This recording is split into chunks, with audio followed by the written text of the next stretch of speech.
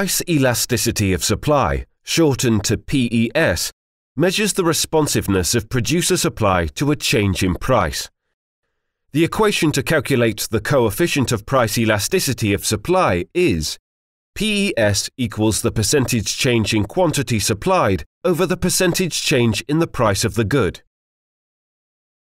For example, if as a result of a 10% increase in the price of coffee beans this year, the supply of coffee beans next year increases from 10 million tons to 15 million tons, the price elasticity of supply is plus 5.0. This is a positive value. As the price of a commodity rises, producers are encouraged by the expectation of higher profits, which creates an incentive to supply more. Hence, the sign for PES will be positive. Elasticity of supply is influenced by the following the availability of factors of production, factors for short. When factors are unavailable or in short supply, elasticity of supply is reduced. The mobility of factors. Mobility increases elasticity of supply. The ease with which factors can be substituted if there is a shortage of one factor. The levels of stocks that exist.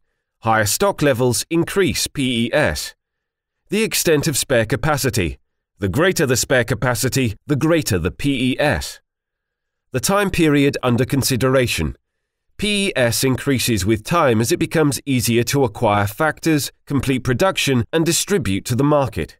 PES can vary considerably depending on how many of these criteria are met.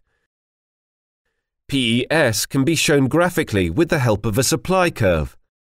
Here we can see that the gradient of the supply curve A is steep indicating a low PES, where quantity supplied increases by a smaller percentage than the initial price increase from P to P1.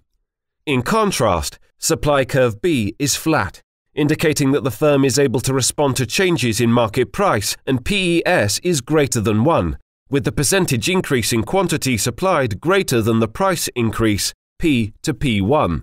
The three extreme cases are perfectly elastic, where the supply curve is flat, perfectly inelastic, where the supply curve is vertical and equal to 1, shown in curve C, which is a linear supply curve coming out of the origin. Price elasticity of supply is a significant concept in economics and has several applications.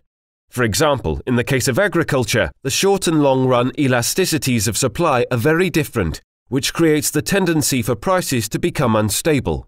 Typically, in the short run, the quantity of most agricultural and other primary commodities cannot be altered until the next growing season, so that the short run supply curve is vertical and PES equals zero. However, in the long run, it is possible to respond to the market by planting more or fewer crops which enhance the producer's ability to supply.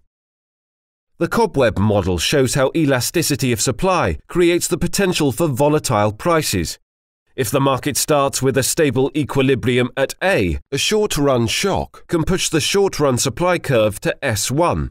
Equilibrium price is pushed up to P1 with a new equilibrium at B. The higher price encourages farmers to plan to produce more next year at Q2 with short-run supply curve at S2. However, this drives the price down to P2, which in turn discourages production next year the effect of this is that the price is driven up to P3. The result is that prices become increasingly volatile. Price volatility is seen as a market failure in that next year's output is determined by this year's price rather than by prices prevailing at the time, and the market moves towards disequilibrium rather than a stable equilibrium.